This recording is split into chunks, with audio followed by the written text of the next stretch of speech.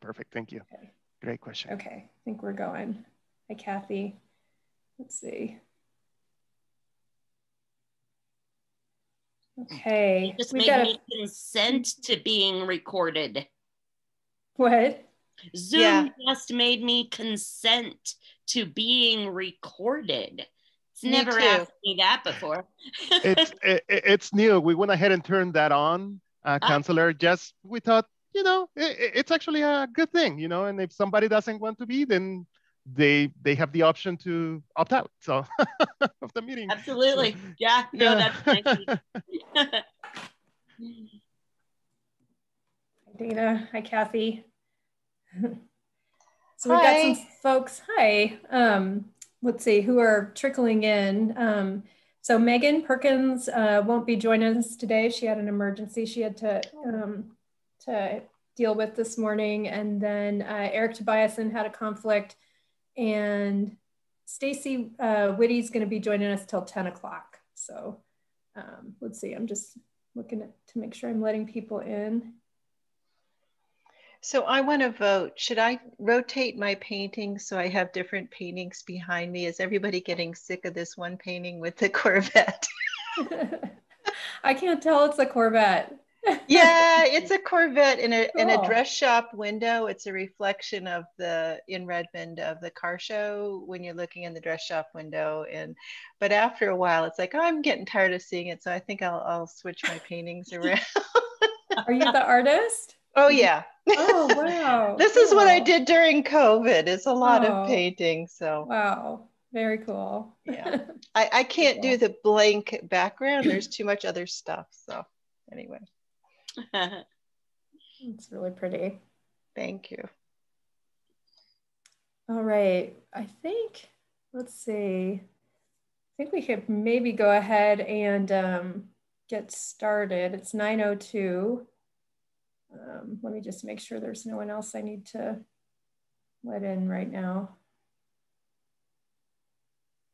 Um, why don't we go ahead and we can wait just another minute or so um,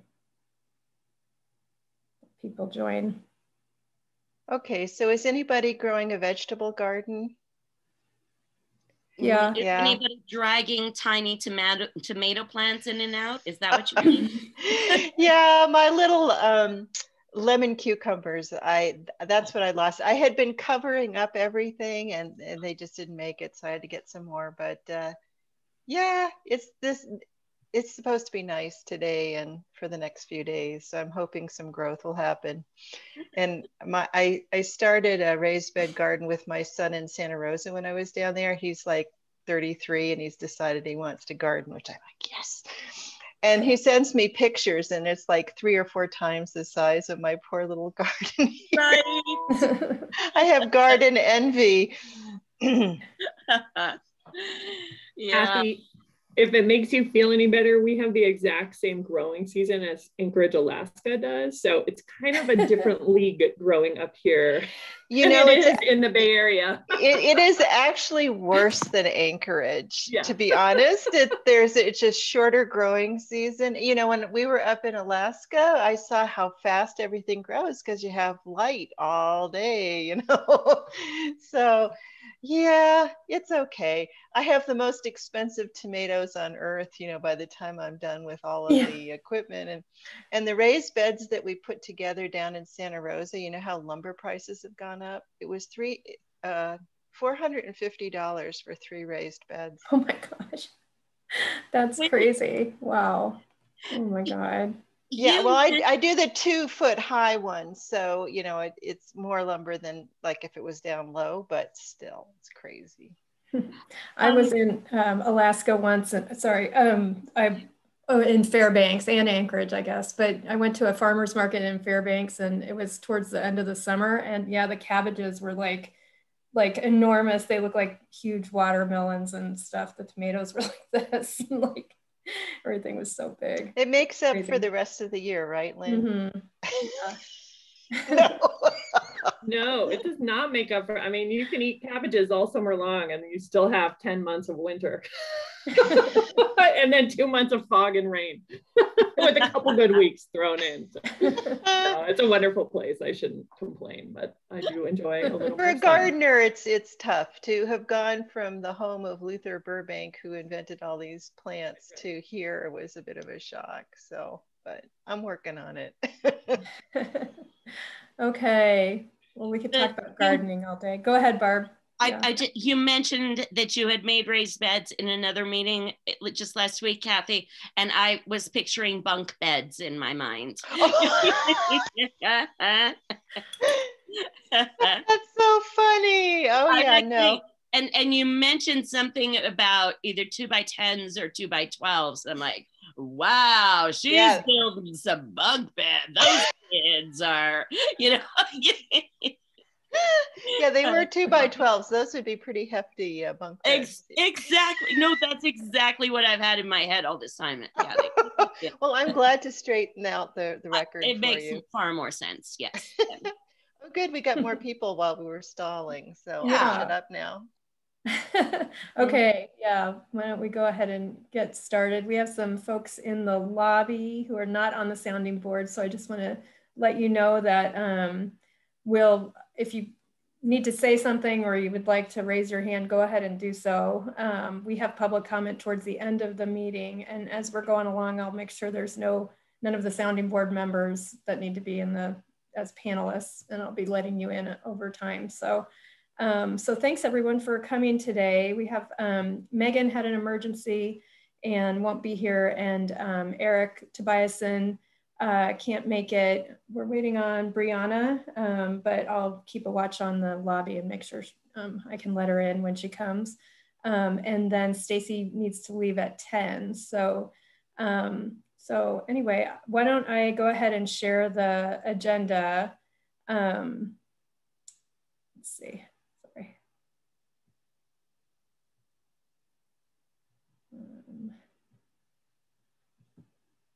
Okay, sorry.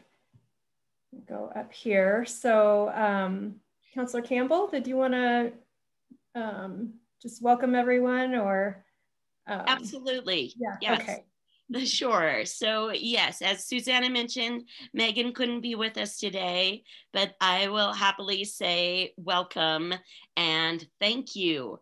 This is the fourth meeting we have had of this sounding board where today we're trying to look at draft code languages that we believe will help us housing our unhoused neighbors.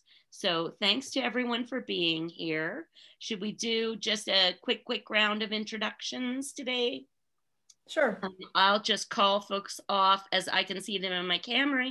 If you just want to say hello and if you represent um, a particular group. Hans, would you like to start us off? Thank you, Councillor. Hans Jorgensen, Chair of the Neighborhood Leadership Alliance Advisory Committee. Thank you. Kathy? Uh, yeah, Kathy Austin. Hi, I'm representing the Affordable Housing Advisory Committee today. Excellent. Thank you. Dana? Dana Richards, she, her, hers, and I'm uh, representing the Homeless Leadership Coalition. Thank you. Thank you. Stacy? Good morning. Stacy Whitty, Executive Director and founder of REACH. Thank you so much. Scott? Morning, uh, Scott Winters, and I'm representing the Planning Commission. Thank you so much. And then we've got staff here today. Elizabeth. Hello, Elizabeth Oshel, Associate City Attorney. Thank you. Lynn. Lynn McConnell, Affordable Housing Manager. Thank you. Pauline is with us today. Morning, um, Pauline with City of Bend um, Planning Department. Thank you so much.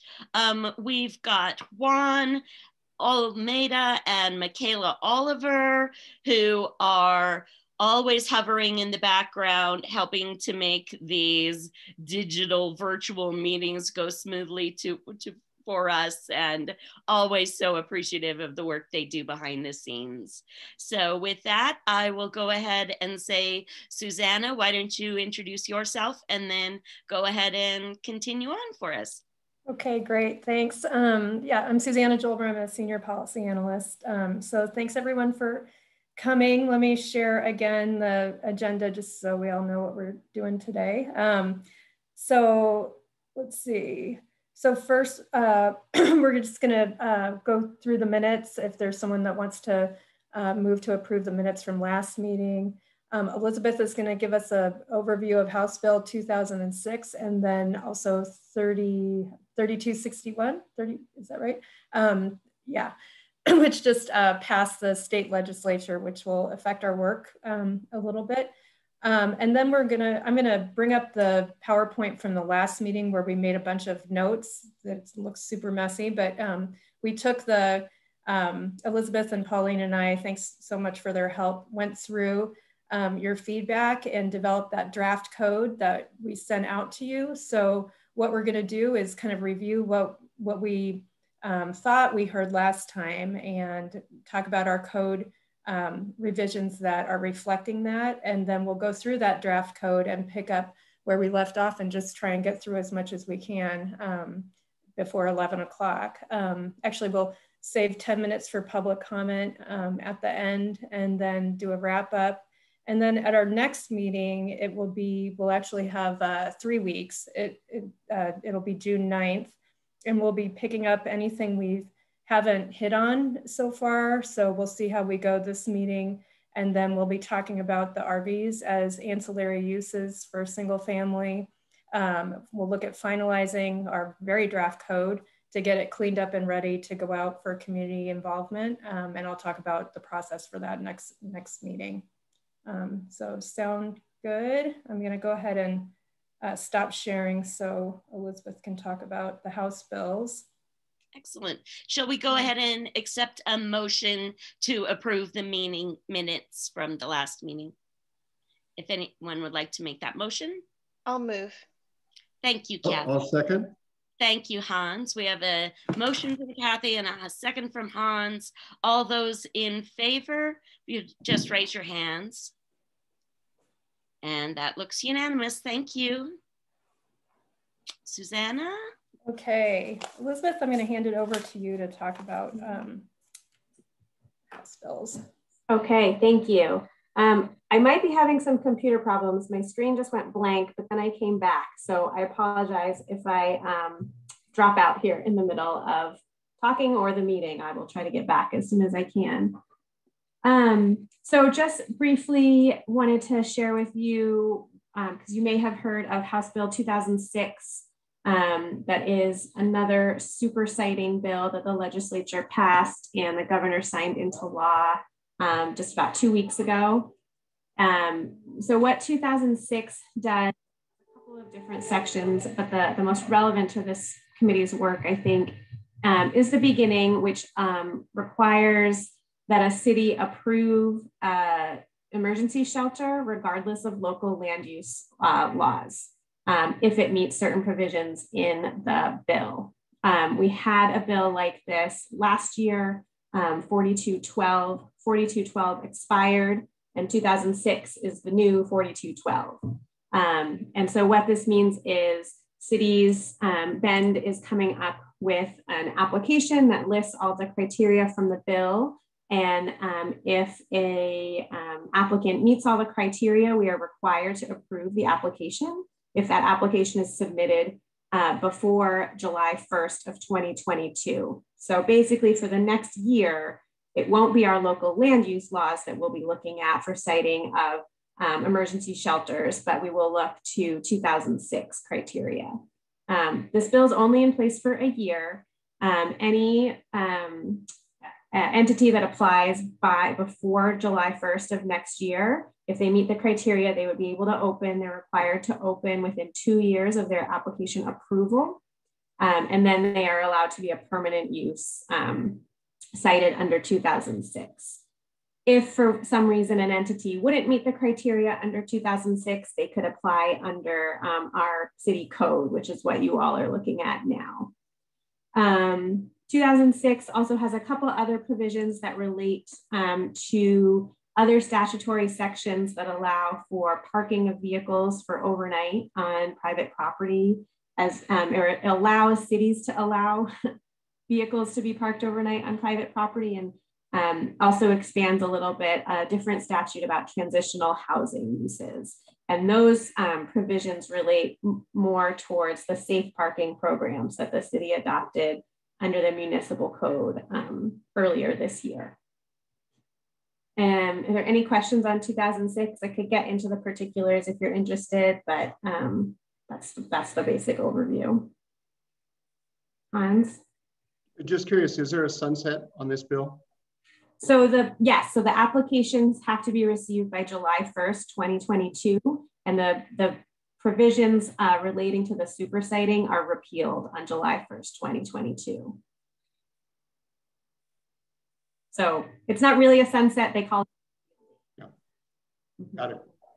Um, and the other piece to note about the expiration date is that if a use approved under 2006 stops being in existence, it can actually come back if they come back within two years. So it's it's it is a permanent approval, including if a use pauses for less than two years, it can restart again under its old 2006 approval. So just a little bit of a nuance about the permanent nature of these approvals. Kathy, I saw your hand. Well, I just, uh, you clarified it. Um, it's not a sunset of the use of that property. It's the sunset of applying. That's correct. There's a deadline to apply. And then, as you said, if it's stopped for some reason, if it started back up again within two years, it can start back up under the 2006 rules. So great. Thank you. That's right. Um, and there was another bill that passed recently, and it is 3261. And that bill does not have a sunset. It allows for the conversion of an existing hotel or motel into an emergency shelter without consideration of local land use laws, essentially. Um, and that one does not have a sunset. What's the status of that one? It is signed. Okay. Mm -hmm. Okay. Okay. Any um, questions for Elizabeth on either of those? So, um, so it's great that those have passed, um, but it makes our work, um, well, our work still needs to get done because um, these are you know, temporary kind of clauses. They may continue, but it's important that we keep moving. Um, the other thing we've been talking about as a staff internally is just um, some of these um, shelter types are, are fairly um, controversial and there's a lot of interest when um, we're talking about them going into neighborhoods and things. And so our feeling as staff um, is that it would be better in a lot of ways to go through a land use process where, um, you know, folks are notified and it goes through the proper channels just so, um, I don't mean proper like that's the only me method, but the land use channels. So it's a, um, it's an existing use. It becomes um, something that's not going to be subject to a non-conforming status. Not that it would be, but there's so many changes with um, state legislation and what may happen. It would be our feeling is it would be better um, for it to go through a normal land use process, which is, is, basically what we're doing with our sounding board work is allowing these through our, our code um, so they become permanent uses. Um, I don't know if anyone has thoughts on that, but we'll, we'll see. Kathy, go ahead. Well, my only concern about that approach is it gives a false sense to neighborhoods that they can they can somehow stop it when in fact mm-hmm. they cannot. And it, um, I mean, to me, it sounds like it's allowed by right.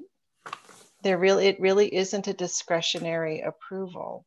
Now, it doesn't mean we can't notify neighbors, but it should be very clear that it doesn't give them a false sense of hope that they can stop whatever they don't like being in their neighborhood, you know. And and I, I guess I, I feel like there needs to be really open and clear communication um, that is not it's not a discretionary thing and you know it, it's possible that there could be input that could help ameliorate the impact for sure but um, I just, I saw Hans nod. I, I think that just needs to be really clear that this isn't necessarily coming from the city council or the Affordable Housing Committee or the Planning Commission, that this is a state law and this is what's happening. And if you go through sort of the whole usual process, I think in the past, in many cases, when things are meeting the letter of the law, there's not really an opportunity for council to reject it. It would open up a lawsuit. So I guess my opinion is just communicate it, but communicate it clearly so that people understand that this is coming. Yeah. And they're not giving input to say, no, we, we don't want it.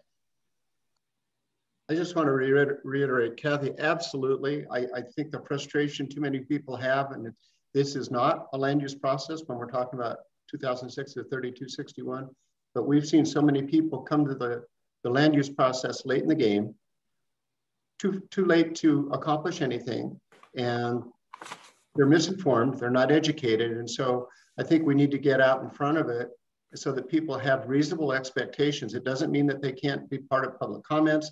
It doesn't mean that they can't express, but it probably does mean there's not much they can do about it. And, and I think if we can educate a little early, um, we can get rid of a lot of angst and a lot of misinformation. And it's just, it's just reminds me of what we see so often in the land use process. And this is a different animal, but same rules apply, I think. Yeah, good points. Um, any anyone else have input on that? Um, 2006, you know, it, it, it is good till next year in June. Um, when we did, uh, we had the applications for 4212. Um, it was about the same time frame, and, and that's when um, Eric Tobiason's project, Veterans Village, came through, and then the St. Vincent de Paul one came through. So we can probably expect um, a few more of these, but it takes it takes a while for people to get um, kind of organized and get funding. So um, you know we may not we might not see like a flood of these applications under 2006 and um, 3261. So we'll we'll see. But it's good to have that process going and then allowable, and then us to keep continuing what we're doing for longer term strategies. So okay. Um, why don't I go ahead and share again? And um, we're gonna be reviewing what we heard from you last time. And I'm gonna um, show the messy PowerPoint. Again, this is where we are in the process. We're at meeting four, um, looking at, again, the Bend Development Code amendments. Um, and last time we talked about the three different types of shelters. Um, and so this isn't final. What I'll do is we'll go through really quick these slides and talk about what we heard last time. And then I'll pull up the code I sent with the bubbles on it because I think it's easier to go through that and make comments of um, Pauline and I are kind of tracking what the draft code is looking like so we can make comments and changes directly on the code. Um, so what we heard last time is to change the mass shelter to a group shelter, um, make some changes to transitional shelter and outdoor shelter so that we're not being repetitive in this shelter definition. So we'll walk through that with you on the bubble code is what we're calling it. Um, you had some comments last time, I think they came from Dana and Stacy maybe about um, day shelter, about having an accommodation for a day shelter, but in talking um, with Pauline and Elizabeth and I, and you guys can feel free to jump in um, afterwards. We felt like we didn't need to maybe create a bucket for that because that's just kind of like an office or a standard operating type of thing. So we didn't feel like it was necessary to create a separate shelter type bucket for that, but you can let us know if we're off base on that. Um, so that's what we took away from the definitions. Um, and again, we'll go, I'll pull the code up and it'll make more sense once we go through it. So we looked at um, the concept of providing on-site or on-call management. And in the draft bubble code, we've got um, some language in there that we'll go through in detail that we took from our short-term um, short-term rental licensing requirements for management, or at least a phone number people can call after hours. Um, we talked about parking. We've got some proposals on parking and Eric Tobiasen sent um, some comments to me this morning that I forwarded to you um, while we were talking. So you probably haven't seen them, but I can pull them up on the parking for outdoor shelter types. Um, we added a few things to these, this may provide, and House Bill 2006 actually has a list of these as well. They're very similar. Um, let's see. So we'll go through those with you when we pull up the bubble code. Um, and then we got down to, I think, that looking at the RM and RH um, on this table. So we'll pick back up there for the sizing in different um, commercial zoning districts. And then in the mixed use districts, we'll pick that back up again when I pull up the bubble code and we can go back and forth. That's kind of hard to do virtually, but we'll do our best to go back and forth. Um, Scott, you had some questions about the commercial zoning districts and I did create a map. It's not very good, so I'm gonna, I just thought I'd pull it up when we come to that conversation, but I think it was to do with um, uh, limiting the size of some of these shelters or the ability to site them in the neighborhood commercial zoning district. So we can talk about that when we come back. Um, and I think that's about it. So why don't, I'm gonna stop sharing and I'm gonna pull up that bubble code and we'll kind of start just going through it and see what your comments are on that. Does anyone have any, Barb, go ahead. Suzanne, are you saying bubble code? Like bubble, can you explain that to me? Why Sorry. is we're calling this a bubble code? Sorry, we started calling it bubble code and it just kind of stuck because um, it had the the document I sent out to you to review. It's those bubbles okay. will not be in the code, but it was kind of a way to say like, hey, this is where we need your input.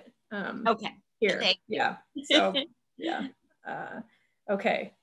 It, to differentiate it from bubble tea, Barb. Yeah. That's right. Yeah. Okay. Uh, here we go. Okay. Can you all see the, the code the, with the blue bubbles? It's small. Barb, yeah. you're muted. It's small. pretty okay. small. Yep. Let me make it. Can you make it a little bigger? Yeah. Like that? Maybe even bigger? There. Presentation okay. mode or something? Um, not with Word. There we go. Yeah, okay. I think so, yep. Okay, let's see. Okay, so let's just start going through this. So um, from what we heard from uh, you at the last meeting, this is what we understood um, the shelter definitions to be. Um, so a group shelter means, means a building that contains one or more sleeping areas or is divided only by non-permanent partitions furnished with cots, floor mats, or bunks for use as a shelter. Um, so, and we don't have to, I think it helps to kind of go through all these and then come back to them. So um, yeah, let's see. So the outdoor shelter is a site on which multiple mobile or permanent units are placed for use as a shelter. And then transitional shelter is a building that can contains sleeping rooms for use as a shelter. So in our code right now, we have a provision for temporary housing and that's where all of our shelter type uses or um, were put before Pauline, you can jump in if I'm not explaining this correctly, but we don't, we're not gonna, after we're done with our work, we're not gonna need that anymore and it's gonna be replaced with the shelter definitions. So that's why this is all crossed out. And then shelter means a location for overnight accommodation of people who lack permanent housing. Sorry, my boxes are hiding that. A shelter may be permanent or temporary and is either an outdoor shelter, group shelter, or transitional shelter. So we got it somewhere in the ballpark. This, of course, is not completely final, Kathy. I think uh, go back to transitional shelter. Uh, I think you need to say a permanent location that contains blah, blah, blah, blah, blah for individuals transitioning or something because it's very confusing to the public to think of transitional shelter. They think it's going to be there and then it's going to be gone. So we just need to clarify that. I don't know, Hans, if you agree, but I think uh, neighborhood groups might think, oh, well, it's going to be here, but it's transitional, it'll go away. It's like, no, the people in it are transitional, the building is staying. So it just needs to be clear somehow. I think that sounds good, Pauline. Well, looking at the definition of shelter, we put there that it's permanent. So we weren't going to be repetitive in the other three definitions mm -hmm. about permanent. I, I see that. Um, however, I still think it's confusing. The the tran transitional word itself can cause some confusion. I, I guess it depends on who you think the audience is for this. So you know, people who are familiar with codes would understand that, but uh, I just want to avoid any confusion with the public that I don't know. Maybe I'm overreacting, but I just want to make sure it's really clear. Because if think... we put it there under transitional shelter means a permanent building, then it seems like an outdoor shelter, we should say a permanent site. And then a group shelter seems like you put a permanent building there. Can you just mm-hmm. put the definition first? So that's the first thing that they read to establish that it's temporary or permanent because i i mean i understand the confusion as well as trying to simplify the wording in each of these but maybe if it's just I think uh, the challenge is if you have to go hunt for the definition or find, then you get the misinterpretations and the misunderstandings that then become more laborsome. That's a good suggestion.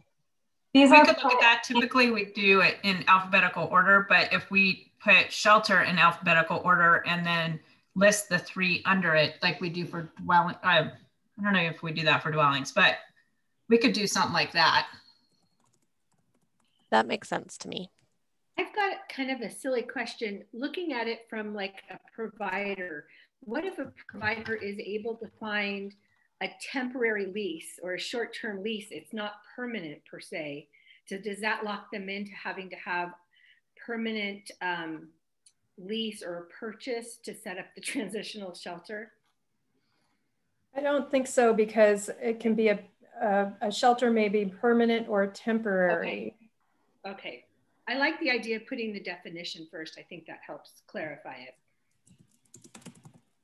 Casey, I think a little bit more on your question will be what we get into is what is a temporary shelter use. And so if your lease is five years, for example, then you would probably be making an application under the permanent use. Um, temporary use in the code are generally things that are seasonal or a few months at a time. Um, and so it may depend which use, whether you meet the definition of a temporary use or not um, when we get there. Um, but the, yeah, I mean, for restaurants or other kinds of uses, a land use application is not only for, um, you know, people who own a property. It could be, you have to, so it, it's not always permanent as in forever, but permanent as in more than a couple months. Okay, so does that does that make sense? I think it does, but I, I wonder if um, for some, uh, Susanna, you and I exchanged some ideas of maybe some sort of a simple matrix that showed the types of shelter, whether they were permanent or transitional. I just wonder, codes can get a little confusing. Um, mm -hmm. And maybe for some of the visual, more visual learners, a simple chart that shows permanent structure, temporary structure. I don't, I think you know where I'm going with this. I just wonder if, it, if there's a place for that. Mostly I'm thinking in terms of the education and outreach piece that we do next month. Okay. Um, Pauline, I don't know that we could include something like that in the code, but um, the, the issue I think with kind of doing the table, and I like tables and matrices and stuff is that they get pretty specific and then if there's a idea that doesn't fall into that line item or is slightly different then it kind of is like well is this allowed or is it not allowed? So we're trying to be in the code i think as permissive as we can be. Um, i don't know elizabeth and pauline you can weigh in on that. But um, we can look at the idea of a matrix um, just and maybe that is something that goes out with the public education, but the code behind yeah. stays kind of like in that standard Um, yeah, I wasn't format. thinking honestly that it would be part of code because that'd be that'd be aberrant from our practices.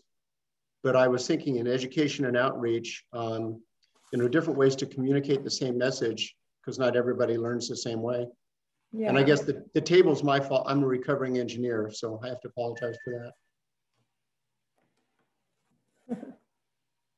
Is it, I, um, I was thinking, is it, maybe are we getting hung up on the word transitional?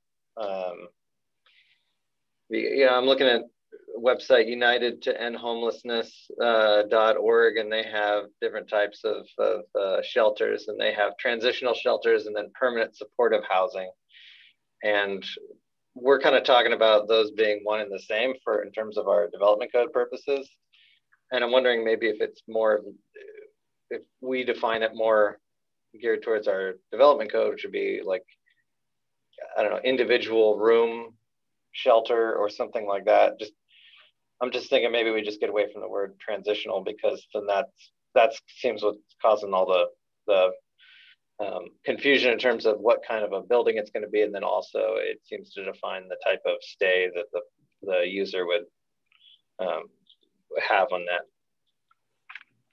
Scott, I agree with you, and I think that the I, I, I was struggling with that too because, in essence, every one of these shelters we certainly hope are transitional we don't expect anyone to stay there forever, but that transitional word means different things depending on who's reading it and what their experiences are or what their interpretation is. I, am I'm, I'm struggling with that myself, I guess. Yeah, is there something else? Um, interim? Interim? or is that just as bad? I think that has the same same problems with it supportive housing shelter, supportive shelter. Um, is the Bethlehem Inn a transitional shelter? I think so. Yeah, people uh, can only stay for like six months or something like that. It, it is um, a time limited type of thing. Maybe that's maybe that's the word, Kathy. Time limited, or something. But we've also. Sorry, Hans. We've also talked about not in the code putting limits on length of stay, but leaving that up to how the operator um, works with their funding or their program. Um, I think if we could find a word that conveys something about the site characteristics, like the individual sleeping rooms, which is actually what would distinguish what we're calling a transitional shelter from a mass shelter, right? A mass shelter is many people in one large room and a transitional shelter is individual sleeping rooms for a smaller number of people in each room. Um, and so we we struggled with this, and I think we've talked about this at a couple meetings of what is the word that conveys individual sleeping rooms, um, because all of these could be transitional in some way, right, for the people who are staying at them. Just like Portland uses um, short-term shelters. Um, and then they also use mass shelters and outdoor shelters. I don't know if there's a benefit to kind of sticking with terms that are recognized, um, you know, within the state versus coming up with a unique term um, that many may not be familiar with. So just passing along the short term. Is supportive a word that like supportive housing in my world is very normal or I hear it a lot, but is that common for the rest of everyone on the call? Does that make sense? Because that is, it's because any of those words that are transitional or temporary, they all have this time definition associated with them, whereas supportive is more about the services provided. Just a, an idea. How about something more uh, cheerful, like family slash individual shelter? You know, that indicates that it that there are aggregate units within a room or something. Um, I, am all for getting rid of the word transitional, but I agree it's a problem figuring out what to replace it with. The only uh, individual and family shelter, I kind of like that. It, yeah. It, it, when you say that, because again, we're, we're not talking about the services. So these buildings can operate on a basis where people can only stay temporary, or they could stay there long term you know, we're dealing with the actual built um, right kind of product. And so uh, I think the, but to Kathy's point, I think adding a little bit of um, something humanity. That, yeah, so adding a little bit of humanity to it makes it is a good is a good bridge to that. And Know, I so like either individual and family or individual and family or family and individual. Either way, I think would would convey the fact that physically there's a room for these people as opposed to the group. So I'm just going to ask Elizabeth because we do not define family in the development code and we've stayed away from that. In fact, uh, yeah, every reference to family is proposed to be taken out of the House Bill 2001 amendment. So when we say multifamily, we're changing it to units because we're talking about units. We're not talking about families for the most part, and we don't define family. How about individual unit shelter? Or we could do individual room since we use unit to describe the outdoor shelter. Oh, true. Units. Individual room, that sounds good. And, you know, I'm good with that. I think it's generic enough, but specific. Um, I have another question that's kind of related to my Bethlehem Inn question, which so somewhere in here it says overnight accommodation, I believe. Um, so at the Bethlehem Inn, folks have accommodation for longer than overnight. They, if I understand their model, they folks just cannot be in those rooms all day long. Um, maybe that is a difference between the types, or maybe I'm just overcomplicating, but I think we have to keep in mind that it's not necessarily an individual room. There might be two, three, or four people in a room. Yeah. As in the Bethlehem Inn. And just one other note supportive housing, like to me, is where there is some assistance with those that might be experiencing um, mental health conditions or any kind of recovery. So it comes, th- that definitely conjures up uh, services that are for our more vulnerable populations. Thank you, Stacy. I was actually thinking the same thing about using the term individual room um, for that reason, because there's often more than one person, um, even in so maybe separate room shelter. Yeah, I was thinking separated room shelter. I'm just looking at um, House Bill 3261 to see if they define, they have a term or something. Multi-room. Multi-room. Oh, that's that a good one. That's, that's good.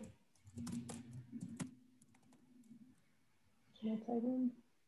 Yeah, because I know with Bethlehem Inn, they might have four unrelated women in one room for mm-hmm. sure. Mm -hmm. I've, I've seen that as a, in the tour. So, mm -hmm. and Barb, I think what you're thinking of is they come in for dinner. Uh, I'm at Bethlehem Inn.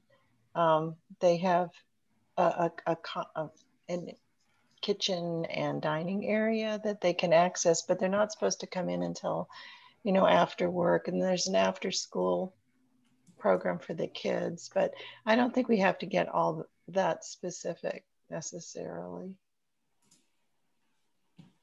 I'll just jump in. I think the intent of having overnight accommodation in the definition is to clarify that people can sleep in these locations versus an office or something that's typically over, only open during the day. And so to be really specific that these are intended to be overnight, but not in any way limiting the duration or limiting the duration to simply one night at a time. Okay, thank you.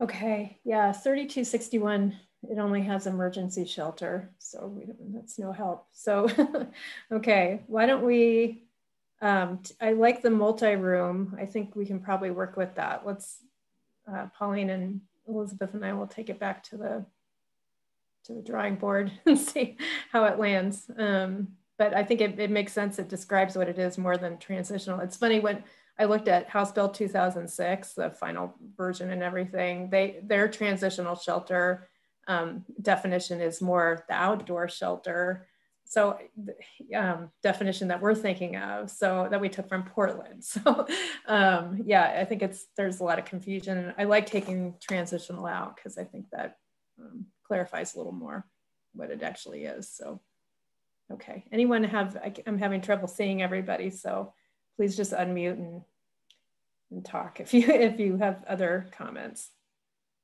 Okay. Okay, so moving on.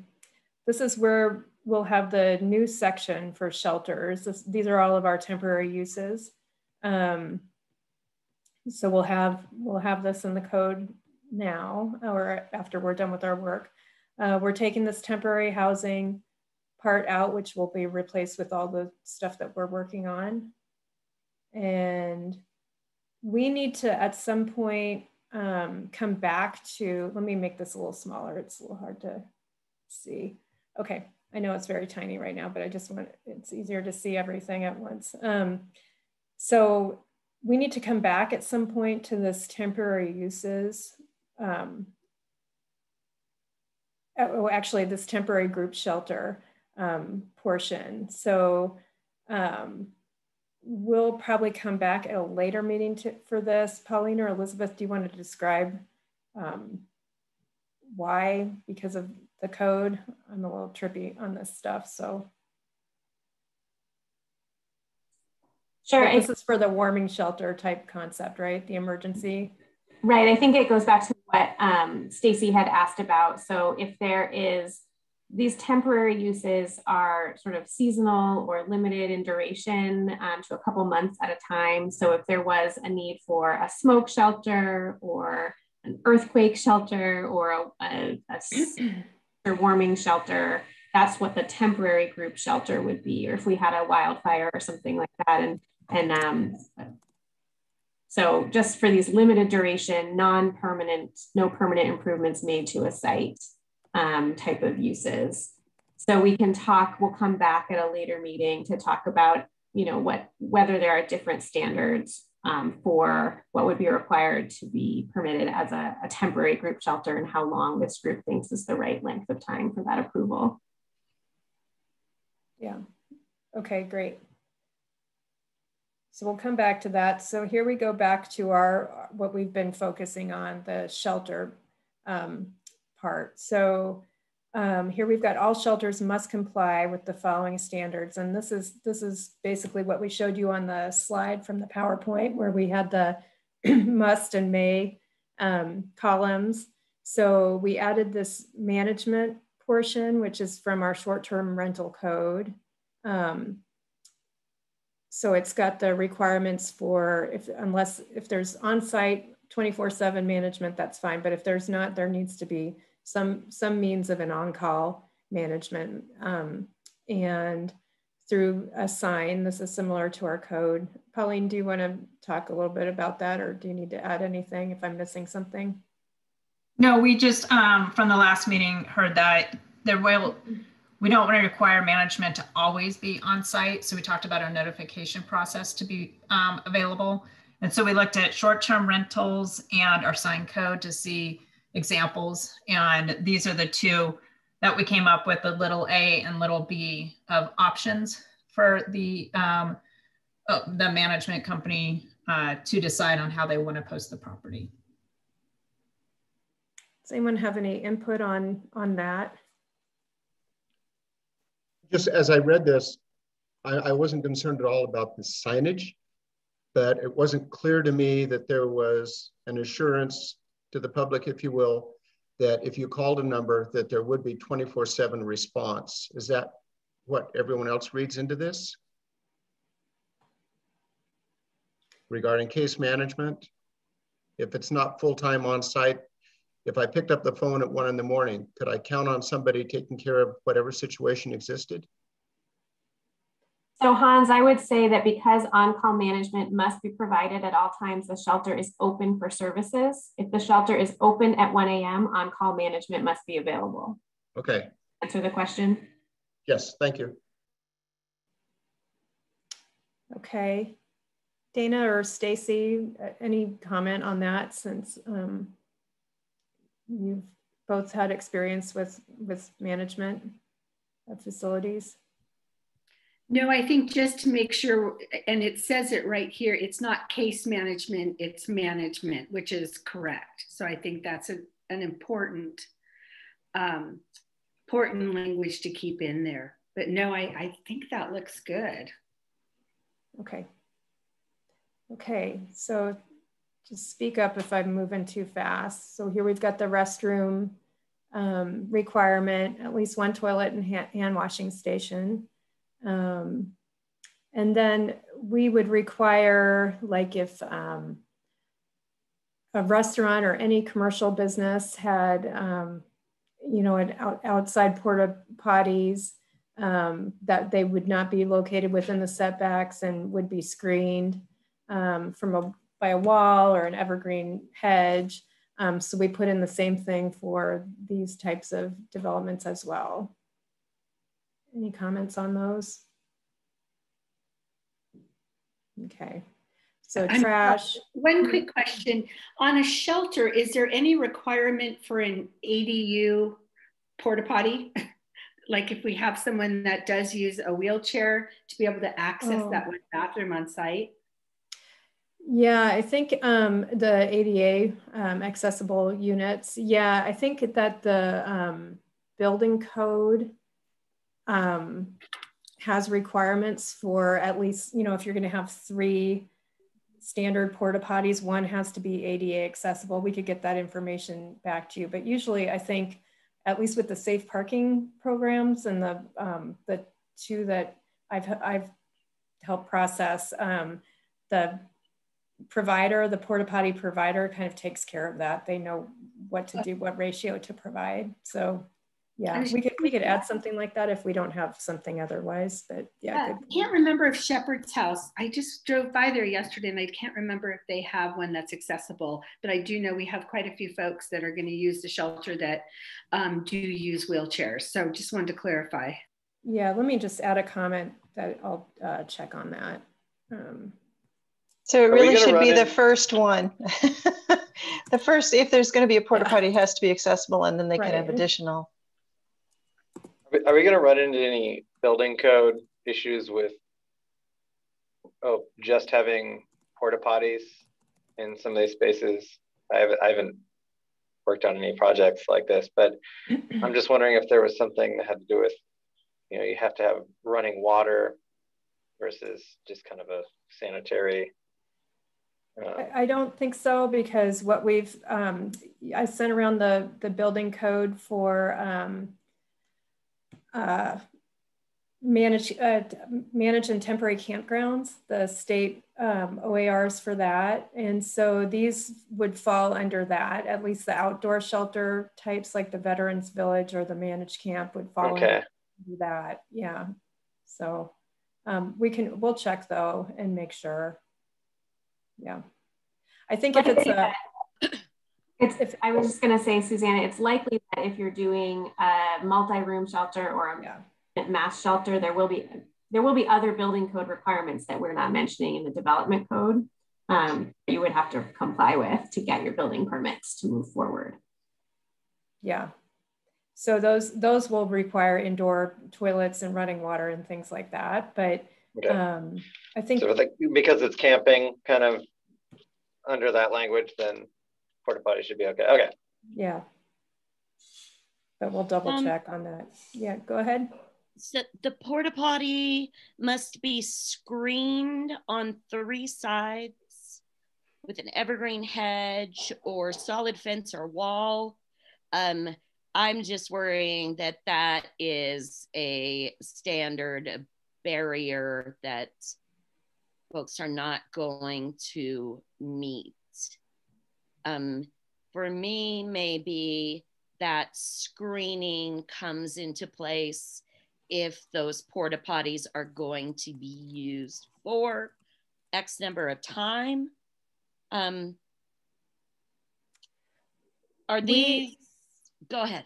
Oh, we had um, a similar discussion just talking about maybe that's a good idea in, a, in the residential districts, especially okay. the RL uh -huh. um, and RS uh, where there's a lot of single family residences say at some point, you know, Bend-La Pine Schools allows a outdoor shelter to be placed during the summer months or something like that. Um, if it's in a residential district, maybe maybe there'd be more acceptance if the porta potties were screened and there'd be a little more privacy for the residents using the facility, the houseless folks using um, the, the outdoor camp. Um, so I don't know if you all have input on that. Um, but yeah, we had a little bit of the same same discussion with that and the trash receptacles. You know, if you're going to have trash in a commercial area, it would be required to be screened on all sides, but I don't know if that's prohibitively expensive. Um, and in our that's safe parking stuff, we're we're not requiring that. I'm worried about, and these standards are higher than just for any other business, you know, depending on the city does not say that dumpsters have to be screened on three sides. I can't think of any place that the city says that. There are, you know, CC&Rs in certain developments where that's the case. Um, and then, so that restroom definition. So I'm thinking about the safe parking program that we have. Mm-hmm. So would would this apply for safe parking for a church? No, so okay. So Barb, this the safe parking is in the municipal code and it's an annual authorization from the city, and no permanent improvements are intended to be made to the site through okay. that parking program. So okay. it would be the same screening requirement because that's just an annual renewing use. Um, okay. Did, so my, so my first cons- so my first thought is kind of already built into there that this only applies when they're going to be in place for a long period of time. Um, we don't need to write in there if they're going to be there for longer than some time. Um, but I do think maybe residential zone, you know, specifying that this is a requirement for certain particular area like residential zones might be the right way to go. I don't think just for clarification, we do require screening for trash enclosures um, oh. in all zones. Oh, um, it's worded maybe a little bit different here and there. Some say must be architecturally screened. Um, that kind of puts the planners in an awkward position because what does that mean? Yeah. Um, and then other locations is where we pulled this language about it being screened on three sides with the options of, uh, you know, just a wood fence or an evergreen hedge. Yeah. Um, so I'm so it's hard to get you go down this rabbit hole. Um, so what about the alleys downtown, Pauline? There are, you know, dumpsters everywhere and none of them are screened. Yeah. That's true. I'm gonna guess maybe they um, brought them in after their planning approval. Oh. or maybe they're in the right of way and not on their property. So. Okay. Thank so you. That's I helpful. agree. I agree with Barb. Uh, maybe if this is in the RL and RS zone, I don't think we have to worry about it in RM particularly, but um, I could see that this could be a cost barrier, especially with the cost of lumber that I just explained before we started our meeting. Mm-hmm. Um, and actually shrubs aren't cheap either. So yeah, I would suggest making it a requirement if it's in the RL or RM. I think that makes sense. And I think um, as to the issues of maybe dumpsters in some of these commercial areas, uh, there too might be issues about access for fire.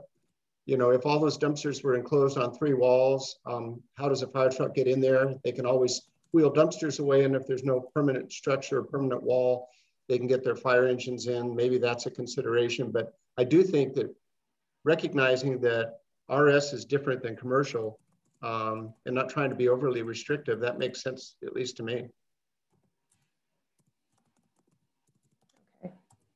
I, I might be wrong, but I think the screening has to do with the uh, kind of the more of the public side or the the primary street or something like that. So it's yeah, your side yard or backyard. I don't, I don't know if there's screening um, restrictions there for or screening requirements there for uh, dumpsters. If we're not going to require screening, I might suggest we at least keep it out of setbacks, um, so that you know, if we're not going to require anything in the RM and the RM property abuts a RS lot, um, it might be good that they aren't right on the property line abutting the single, the, the resident's house. I, I think you could add the, the language or abutting an RL or RS zone, and that would kind of cover it.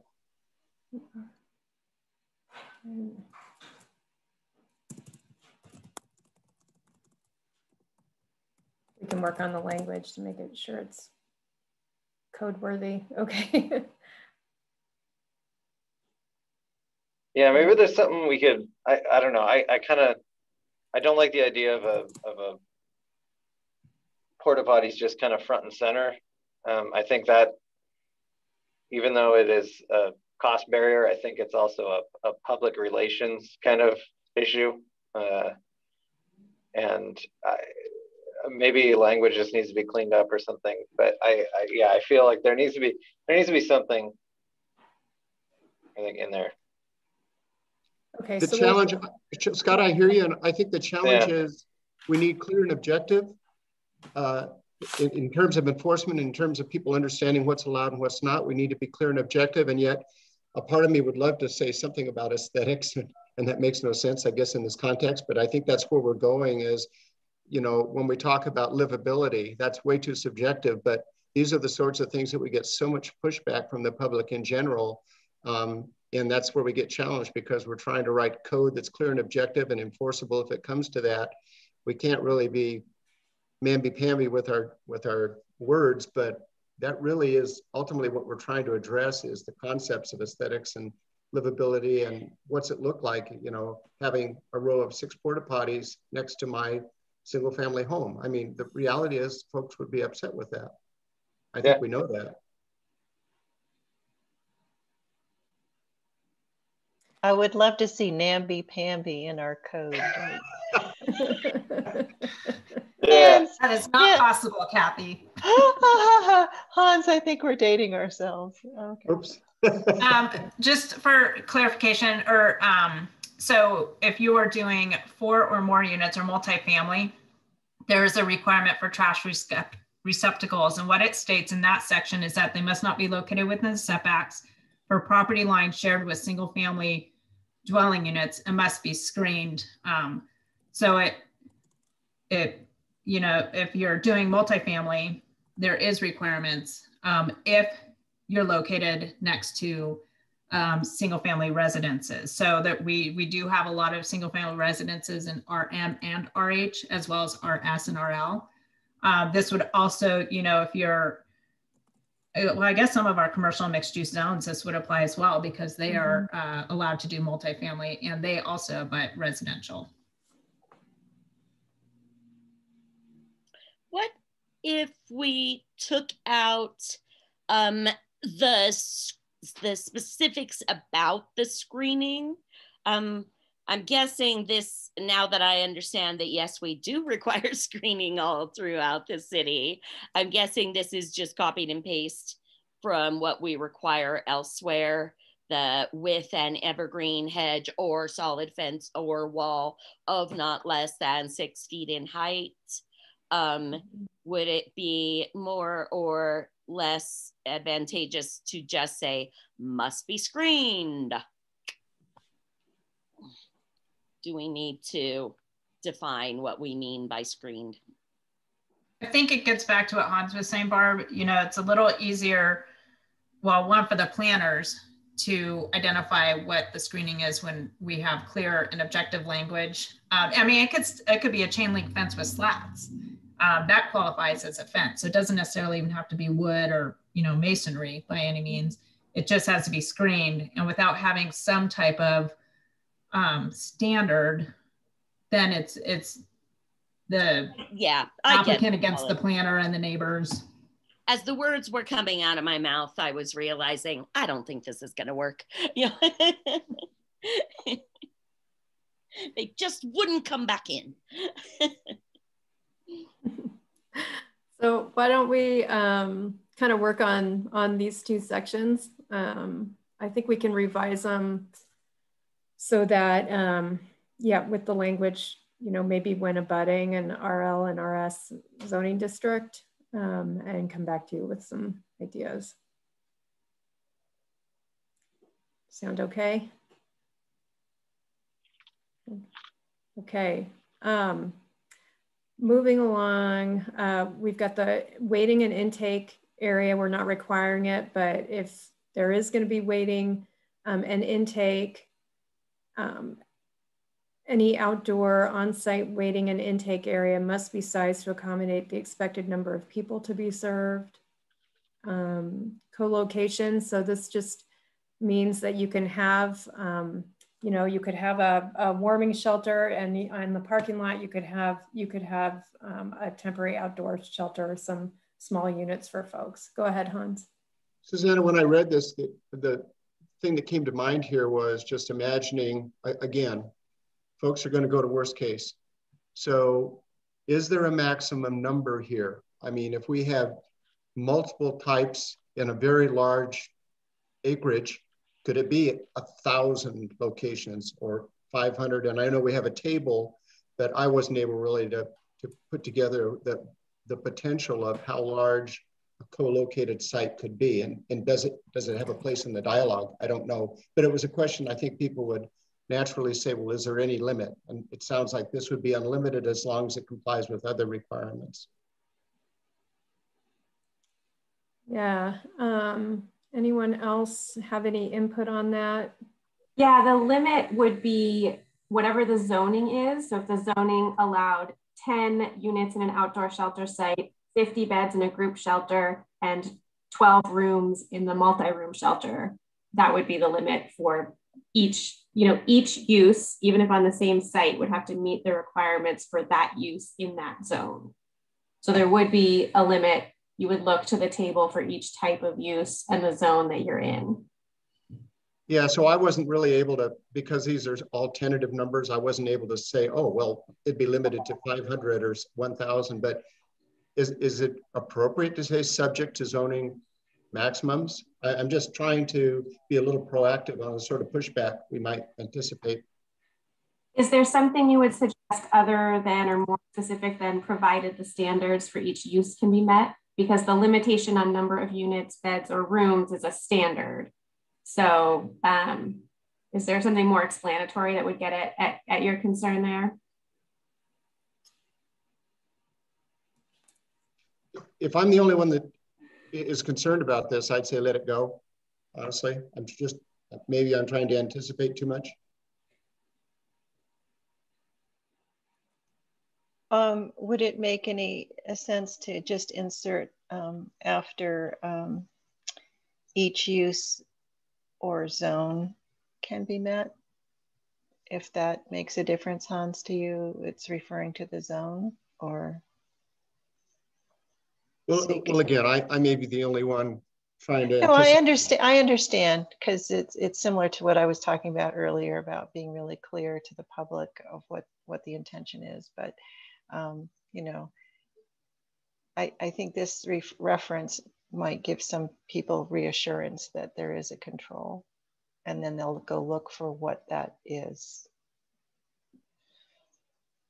Pauline, would that would this make sense to add? Well, they, they, no matter what, are going to have to meet the underlying um, standards. So if there's setbacks, um, height, you know, they, they have to meet those regardless of how many are on site.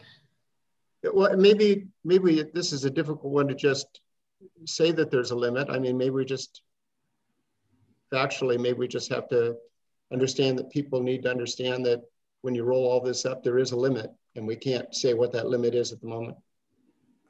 I don't want to. I don't want to be the one to get us bogged down here. well, I think it, I think it's um, you know a worthy um, point for sure. Um, maybe maybe we come back to this one once we go through the tables because it might make more sense once we see the sizes and maybe do some back of the envelope math and figure out um, how big these things could possibly be. Yeah, Susanna, could you just put a comment in maybe that says something mm -hmm. like subject to the size limitations and, and that way we know to come back. And yeah. Be, be able to add something like that. Maybe the word occupancy is you know subject to maximum occupancies or or occupancy limit subject to occupancy limits something like that. Yeah that might be a good thing to do. Yeah okay. Because i think i think hans is right. You know absolutely. There will be folks who go to whatever the very worst thing they can imagine is. Mm-hmm. and absolutely if we can head a few of them off yeah okay um, and then compliance this is just kind of standard language um, everything's got to meet fire codes um, and then we do have this the development standards for the base zone and overlay zone apply unless superseded by standards in this section. So um, it all of these would still be subject to the underlying zoning standards.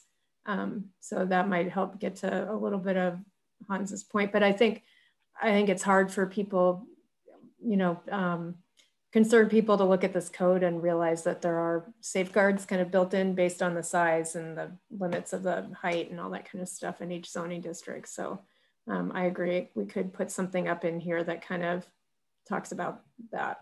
So we'll work on that and come back.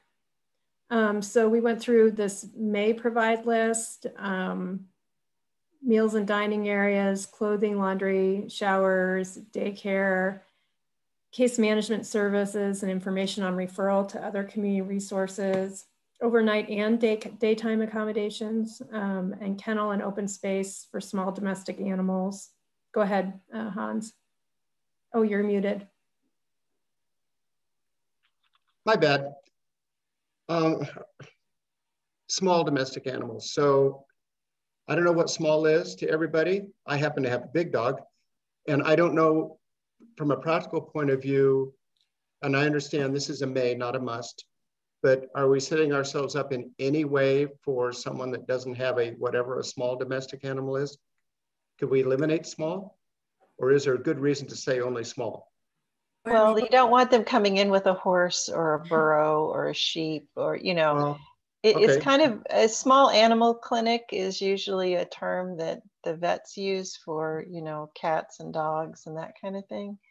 I mean, I understand why they need it. Maybe there's a better better language for it. I don't think it would eliminate a large dog. It's eliminating farm animals, basically. We pulled small domestic animal from the kennel code, I think, um, the definition we currently have. But I think if you take out small and just say domestic, you probably get to the same concept. And I did just want to point out this would not override any ADA, um, you know, uh, uh, service animals requirements that may be required to be allowed, regardless of what the code's limits are. I was going to say you can also possibly say companion instead of domestic, and companion is different than um, animals. So, mm-hmm. Just an yeah. idea. I was wondering about pets versus domestic animals, but companion, I think, yeah. is kind of the same as pets, right? Yeah. I'm sorry. I um, uh, email came in and, and, it blocked a little bit of, I don't know how to turn off multiple things, but can you say that again? The, the companion, are we putting companion in? I think companion actually has a meaning, um, not under the ADA, but potentially under some other um, requirements or restrictions. So um, I think we wouldn't necessarily want to limit to just service or companion animals is not the intent here, I don't think. And okay. I suppose you could have a pet tiger, but it wouldn't be a domestic animal. So pets wouldn't work. I think the management would probably not allow, you know, um, tigers and stuff. Hopefully, maybe that. I, means, I was just thinking, does it make more sense to just say may allow, subject to ma management restrictions, or? Sure, we can we can add that in. And then it, obviously each management situation is different, but they're going to have something that I think would be explicit enough that it says that, and again, it's a may. That's true. Okay. Everyone okay with that? And then overnight camping may be provided in conjunction with a shelter in compliance with um, the safe parking program. So we're just making the allowance that, um, you know, the use could have additional um, camping in a parking lot um, in compliance with our safe parking program, which is in our municipal code, which is a little bit different. It's an annual license. and then we just put kind of a catch-all. I didn't add storage. Um, we just want to make sure that we're listing out enough things that if if a shelter provider wanted to provide some of these things, um, they can go back to the code and say, look, this is, you know, if they have issues with people complaining or something, um, they can go back to our land use code and say, look, this is this is allowed under under their code, so we're okay with this. Um, folks okay with that? Yeah, okay.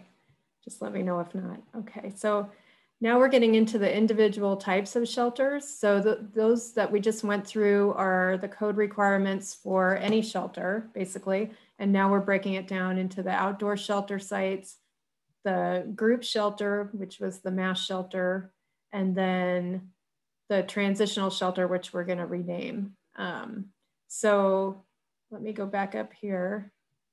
And we, we got through um, we actually didn't go over the outdoor shelter sites. We ran out of time at our last um, meeting. So right now we're talking about, um, that's what we're gonna talk about right now. So, okay, so just backing up a little bit. Yes, Hans. So I would just say that when I looked at C3, uh, I made a note here. I'm, I'm wondering if that is maybe more parking than is necessary, which you wouldn't ordinarily expect me to question.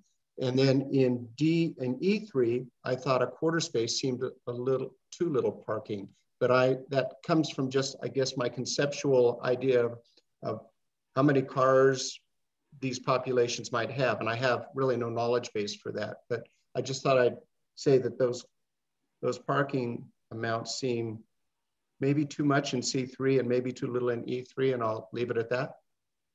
Okay, yeah, thank you. Um, and Eric Tobiasen sent an email this morning. Um, so he, his experiences with the outdoor shelter sites, and um, he had suggested uh, they have 10 at Veterans Village um, instead of one space per each. So they've got 15 residents, 15 cabins, and then um, they're, they're, uh, they have 10 because he felt like um, not everybody is going to have a car, but we still need space for providers to come. So um, this is just a starting spot.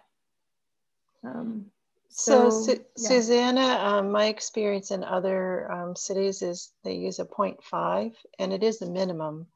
Um, so I guess what uh, he was saying was it'd be 0.75, but I, I think 0.5 is fine for a minimum um, personally. Uh, it is more than 0.25 and it's less than one. Um, and, you know, because we really are talking about minimums, and I think the providers are pretty responsible folks, and they're going to pro- they're going to propose what they think will make sense. Um, you know, maybe there's 0.5 plus a visitor parking space per X number of units or something to that effect. But I, I think one per unit is too much personally. Okay, anyone else have um, comments on that, Dana I, or Barb? Yeah. I really like Stacey. that idea, Kathy, of at least one visitor spot, you know, some sort of a minimum um, that has to do with the answer is never zero.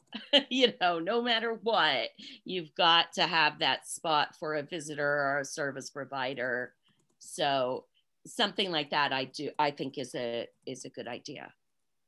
I can tell you that um, both locations for the Kenton Women's Village does not have on-site parking for anyone.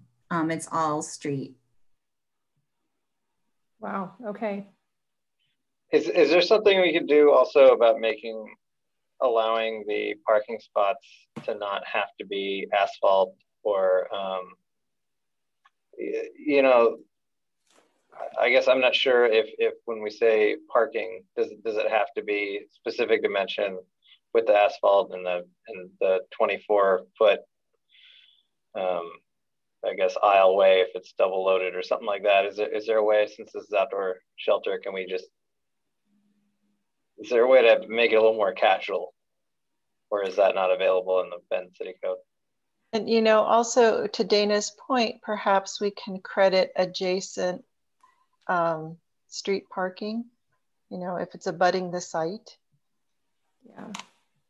We can have language um, from other places in the code that we can use on that. We've got that all over the place. Okay. And that that is allowed unless we say it's not, because if you go to the parking chapter, uh, you can count up to 50%.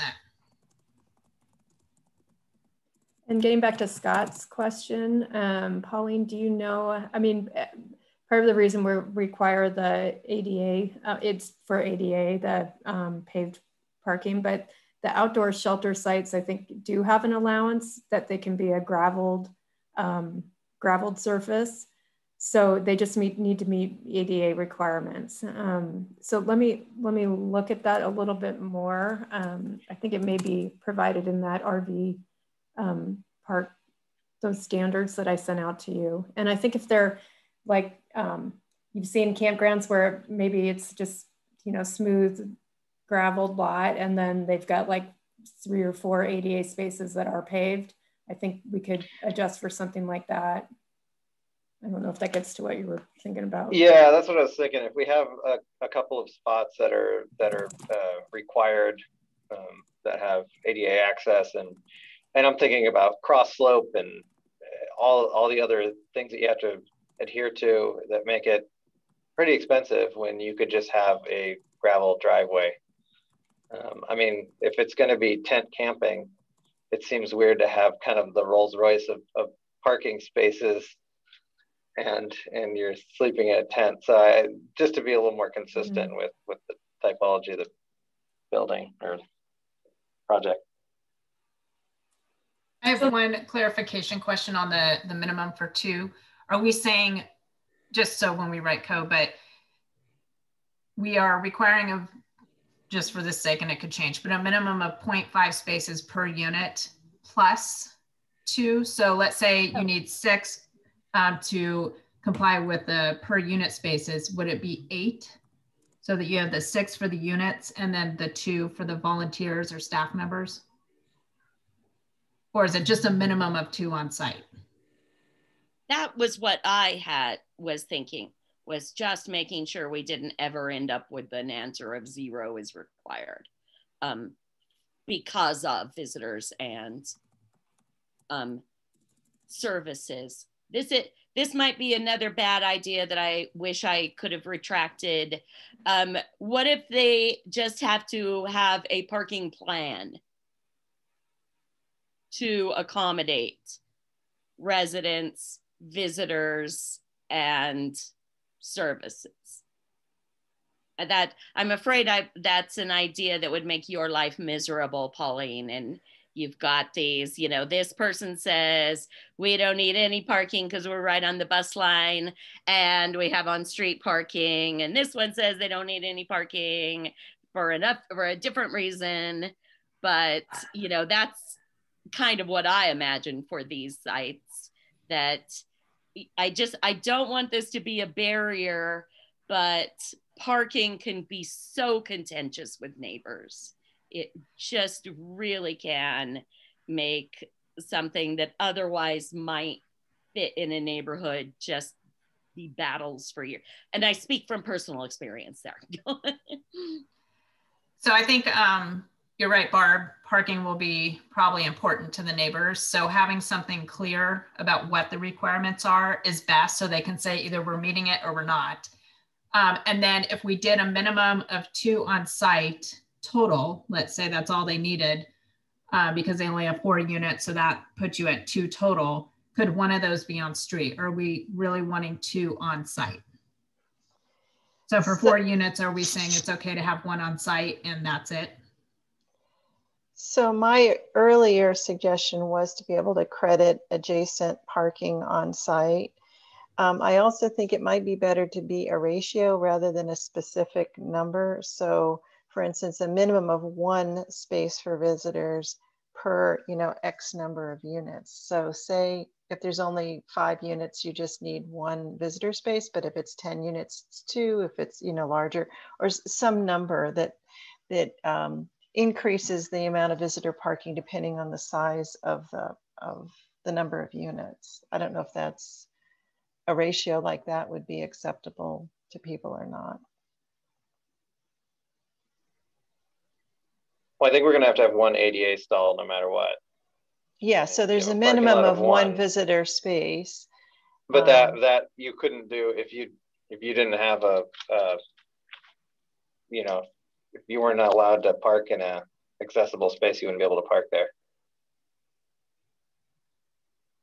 Yeah, I get the so I get the idea of visitor, but if again we're using an assumption here whether it's 0 0.5, 0 0.6, 0.45, 0.75, we really don't know what this population is going to be. So trying to trying to slice it up into a fraction plus two or a fraction plus three, um, I wonder if we don't just accept that there's a number that should be sufficient and would include space for visitors because we don't want to we don't want to really put too much of a handicap and be restricting how many sites because oh gosh if we had 0.25 parking, we could have four more sites, four more beds, four more tents. But if we go too high the other way, I, it, it kind of comes down to this fraction. I mean, if it's 20 units, that's 10 spaces. There's times when that might be two, two spaces too few, and times when we've got four spaces empty, but it's not a science. So maybe we just need to pick a fraction that's appropriate to the best of our knowledge. Yeah, that's a good point. I, I tend to agree because if you've got a facility with, you know, 30 sites or something like that, I mean, that's if we do one space per four, that's that's a lot of spaces for staff and visitors that are taking up a lot of room. So I mean, I I, understand if if there's only four units, then that would be two, maybe two spaces. If we want to say not less than three spaces, but maybe there's a minimum. But I think because we're picking not arbitrarily, but we're picking just a fraction of the total number of units, we should pick a number that seems appropriate to accommodate visitors, and then we can discuss whether or not it includes offsite or not. What do think folks think about Eric's um, idea of the 0.75? Well, 10 of 15 isn't 0.75, but that's not, what is it? Sorry. I, am just, I, am there. I'm just saying, I let's just pick a number. It's so clear and it's so easy for people to understand that there'll be 0.5 or 0.6 or whatever. And if it includes, it should be sufficient for a visitor or two or what have you. That's all based on an assumption. Um, Maybe we could ask the Bethlehem Inn. They have so much experience of how much parking has been adequate or not over the years. Um, I, I, yeah, parking. Ah. Yeah, I, I agree with Barb, but also that Bethlehem Inn is a different wheelhouse because of outdoor shelter versus a building. Because I'm sitting here thinking and drawing on all my experience. Um, almost all of my building shelters had only street parking. Um, and um, and they would just block out like paint on the curb if uh, like the ADA spot. Right. Um, and uh, there was the one shelter that I ran had, that had uh, 200 folks staying there. I think we had like 25 parking spots, and that was for staff, visitors, and uh, folks staying there. What about this? What if we were fairly sure, based on the five months of experience we have with this council, that this will be one of the specific parts of the of this so the whole package will eventually come to council for approval. Both changes have to go through council. And this council is very concerned about parking and parking minimums. I see Dana has heard those conversations. So maybe for this group, we pick a number and we move on. Uh, you know, based on Eric Tobias's comments, and you know, I will say my own concern. I would say that number could be 0.75 or 0.5, and just kind of say council can, you know, if they don't like that number, then let's let council hash this one out. Because I can almost promise you we will. this will be something that catches the attention of the full council. That sounds good. 0.5. 0.5. Okay. Eric Tobiasen, I'm sorry, it's 0.66 is what. Right, exactly. okay.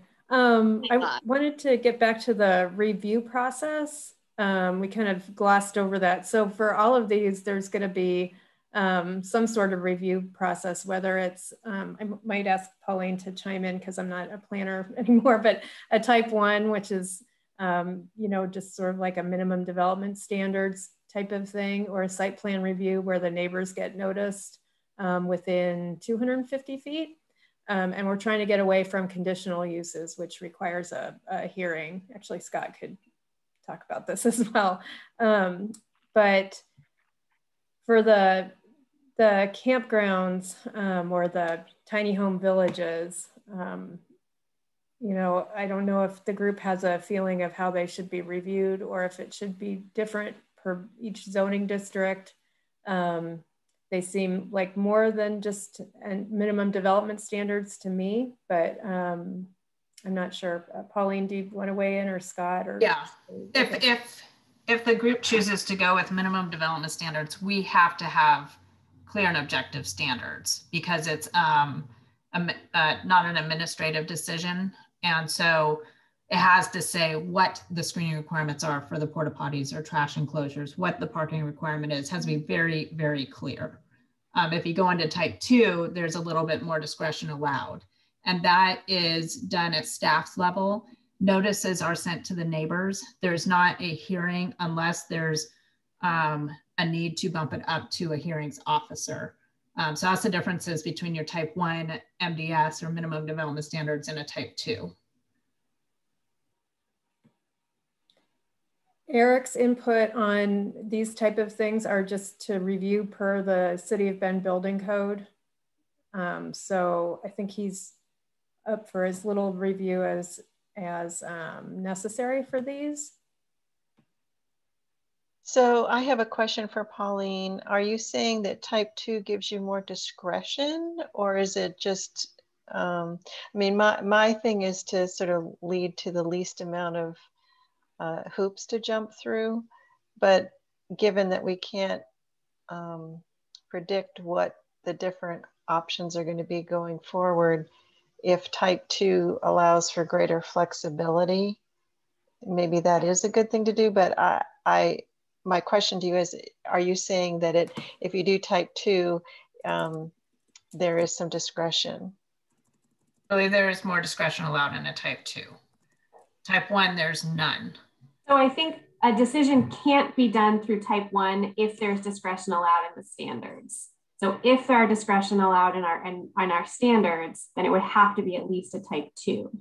And so part one of the main differences for the public, I think, between a type one and a type two is that uh, type two is the first um, level of review that requires notice of the application to the surrounding property owners. So I'd like to hear from Hans on what his thought is on, on that for neighbors and so forth. Which aspect of that, Kathy? Well, considering that the neighbors can't stop it, should they be notified at all? I mean, you seem like it should be notified, but at the same time, there's nothing much they can do about it. So I, I guess, um, yeah, I just wondered what your thought is on that. Well, I, I think we're talking about things that do fall within the land use process. So we're not talking about a 2006 or 3261. So it seems like if we, for instance, were going to build a facility, um, we would be obliged, if it's type two, we'd be obliged to let the NA know and we'd be obliged to comply with the 250 foot rule unless, unless there's something I'm missing here. That's for something we're building something we're converting might be a different animal. I mean, we just we just did this a little bit just recently when we said we're going to take the winter shelter and turn it into, you know, a, a temporary summer shelter. I don't think we reached out to the NAs and said, "Hey, how do you feel about this?" We assumed that Larkspur was okay with that before, so they must be okay with it now. So you're right. We're sort of setting ourselves up if we don't notify, but I would say it needs to be limited to the requirements of a land use process where that applies. Thanks, Hans. Um, Kathy, these are these will be appealable. So, um, right, Pauline and Elizabeth, because if they're type two, yeah. If they're type one, are they appealable? Um, Elizabeth, do you know on that? I don't no, I don't think so. Um, I believe they are. Let me just get to that part of the code. Type one appeals. Colin just raised his hand. Oh, Thanks, good. Colin. I didn't, I didn't see you on. Yay. Go ahead, Colin. Are you, maybe I haven't admitted him. Sorry, I can't see these. Multi, oh, here he is. Okay. I'm gonna promote, let him in. Okay. Okay, hi, Colin. Are you there? Uh, all right, I'm here.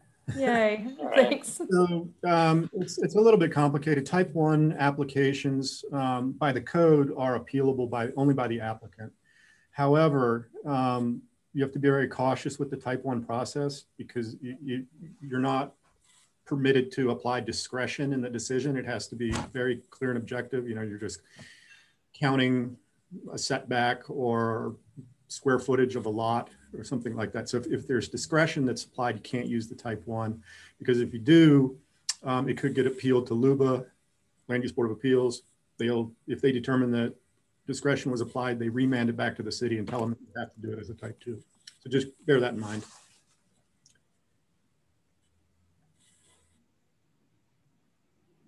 Pauline, do you have a sense whether you think it's more appropriate to be a type one or a type two? I mean, are we clear and objective enough as it's written to even be a type one, or do you think it needs to be a type two? Um, I think about the trash enclosures and the restrooms, depending on what we come up with that standard. And as we work through the rest of the standards, at that point, we might have a better idea of you know what the requirements are. And it's going to be different. Maybe outdoor shelters are a type 2 but a group shelter is a type 1 it just depends on how we craft the code. And then i would also look to hear what colin's um, opinion is on that question too.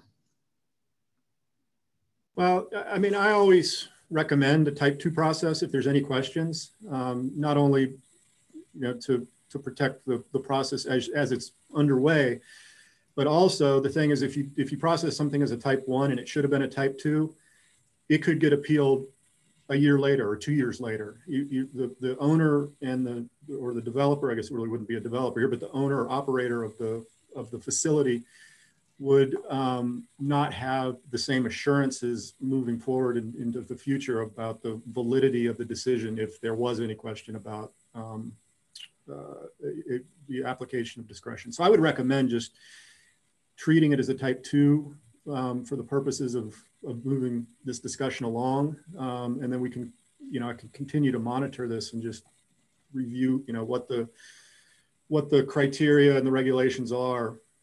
And if it, if it does present itself as being a, a completely non-discretionary action, we can, we can take, take it as a type one, but I would recommend probably just considering it as a type two moving forward.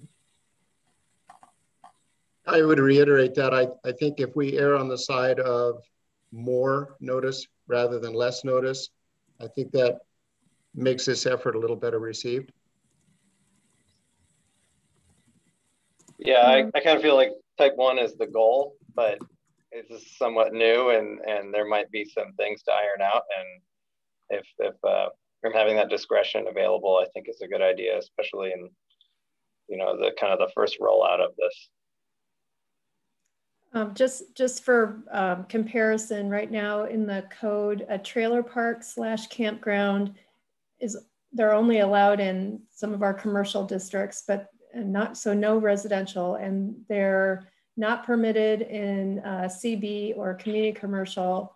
They are a conditional use in the CL and CG zones. So um, right now, just standard campgrounds are a little bit of a higher um, higher um, bar, I guess.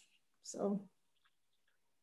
I just want to say I agree with Scott. I mean, the goal is to make it simple and get it approved like a type one, but I think we're more covered in terms of contingencies of what's what's could happen to the provider as well as, you know, some discretion on some of these items that we can't really defined so clearly, uh, type 2 seems to make more sense. Maybe as it moves forward, there, there is an opportunity for some of the uses to be a type 1, but seems like the consensus is that type 2 seems to provide the best path forward. Um, sounds like that to me.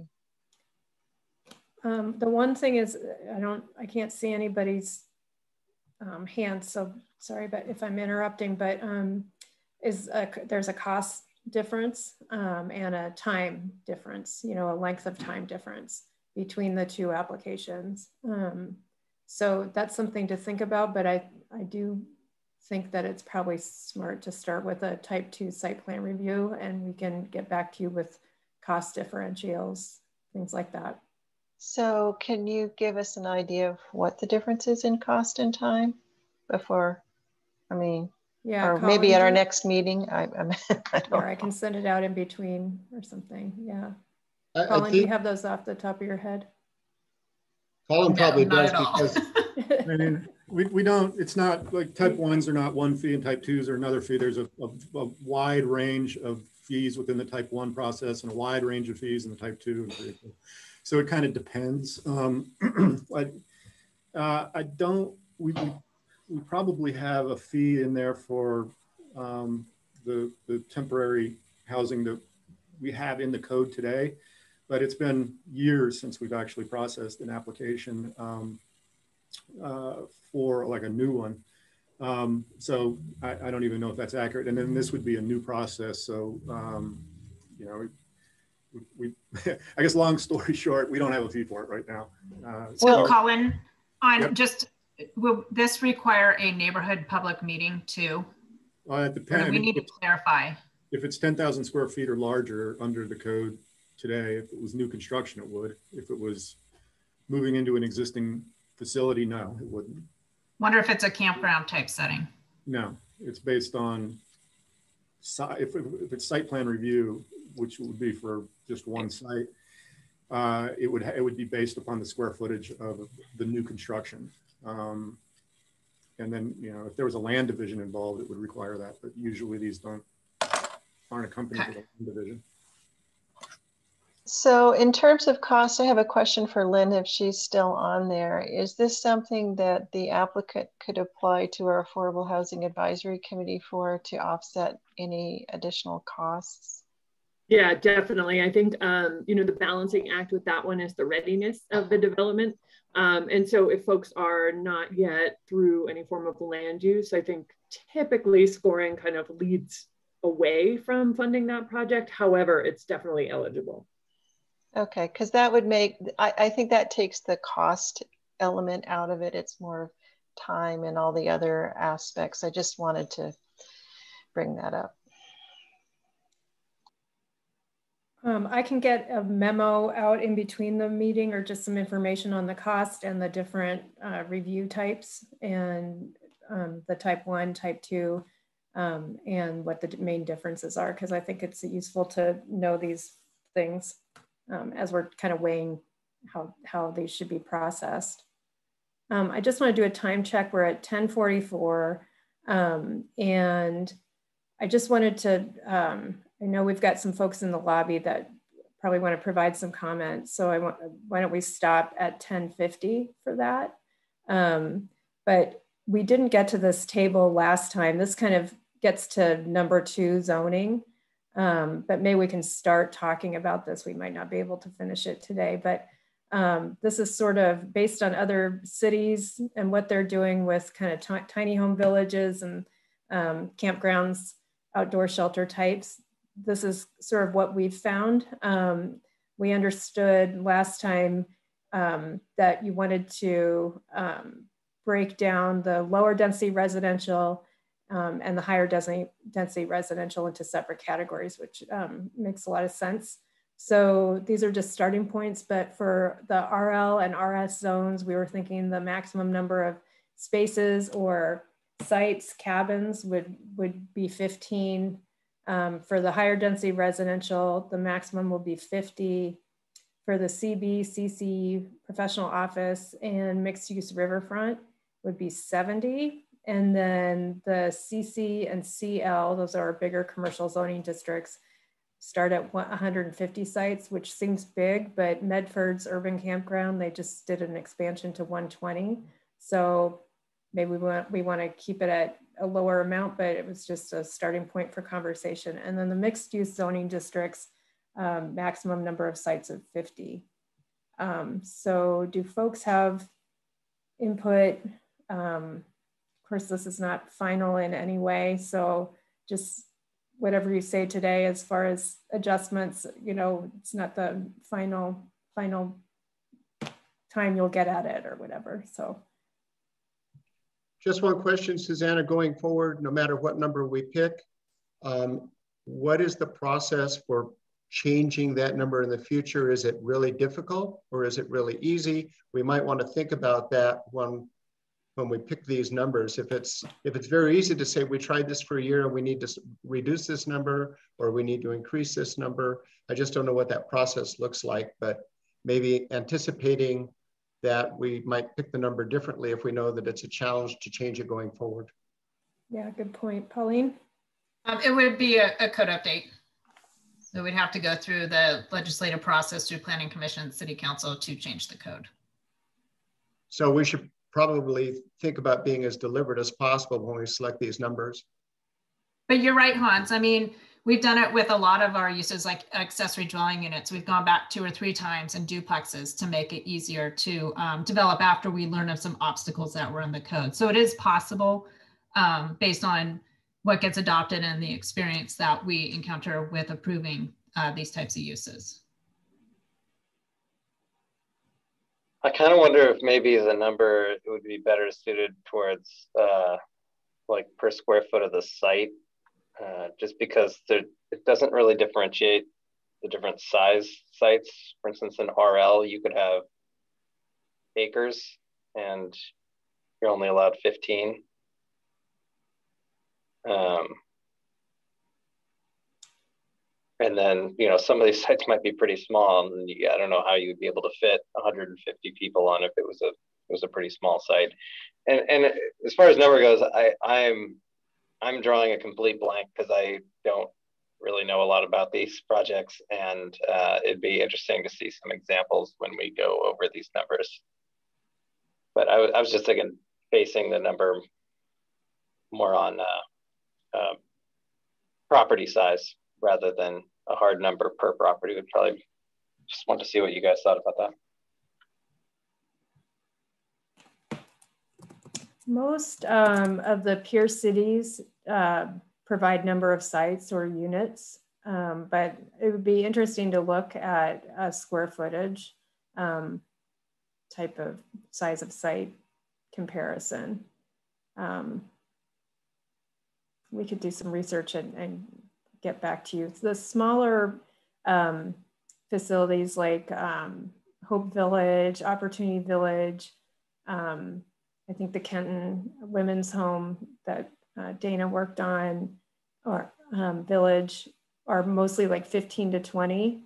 Um, so that's where we got the 15-ish type of number. Um, some of the microsites in Eugene on their parkland or or the city owned property are like 20, 25. Um, so that's a starting point where we thought it would fit a little bit in the RL and RS zoning districts. And then Medford's um, in their residential areas, they're more like 15 and 20. And then the large urban campground they've got is, is 120 sites. And they went through an additional review to get that. Um, so yeah, but it is a little bit of a wag.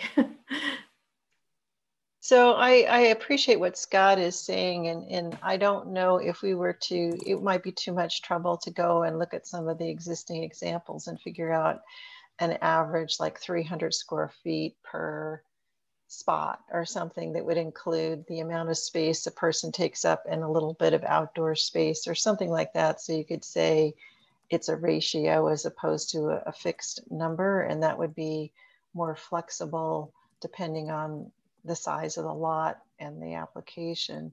But if that's not clear, then I don't know. It, it, just, I understand where Scott's coming from and, and I think it makes sense, but how we get there, I'm not really sure. Um, yeah, it just seems like a, a, good, a good just point. seems like an um, RL zone, 15 people on a large property, it seems kind of a seems kind of a waste when you're looking at maybe smaller properties, uh, you know, in the RM or RH zone, and then 50 people for this, you know, for the outdoor outdoor shelter. Um, yeah, it just it, it seems a little strange, I guess. Well, one clarification: we're talking about number of sites, and I'm not uh, very familiar with these. So, can you have two people in one unit? Yeah, you could have like a family unit. I mean, those okay. pallet shelters, they've got family family sizes and and individual sizes. So okay, so that's one clarification, Scott. So when we say 15, it could be 15. It's 15 units, but it could be four people in each of them.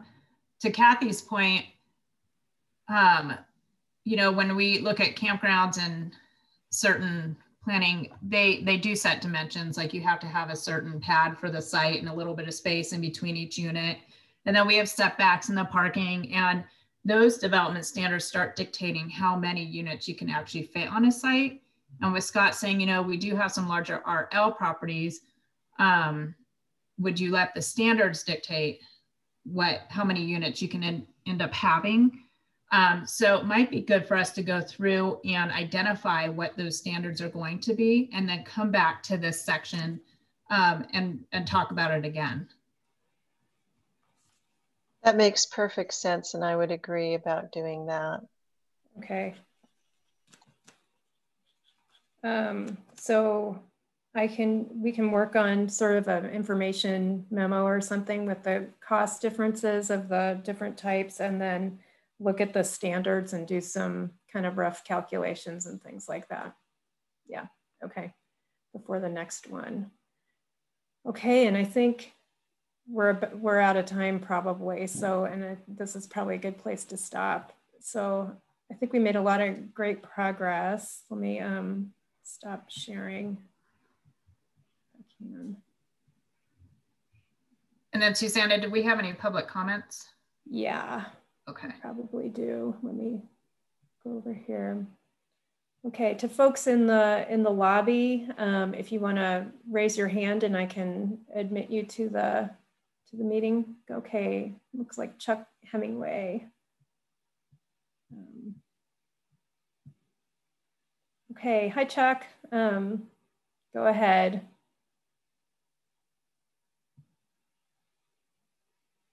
Can you unmute?